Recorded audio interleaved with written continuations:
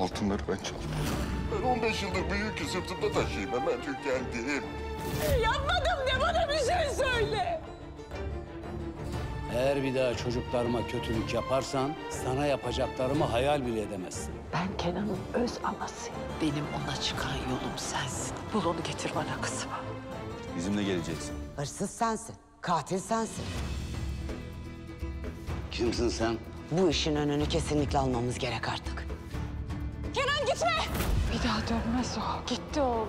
Aa İsmail Hanım. Bana döneceğini biliyordum. Bir daha sakın benim karşıma çıkma. Gerçek yüzünü bir tek ben biliyorum. Ama bir gün herkes öğrenecek o karanlık geçmişini. Güvercin yeni bölümüyle Pazar Star'da.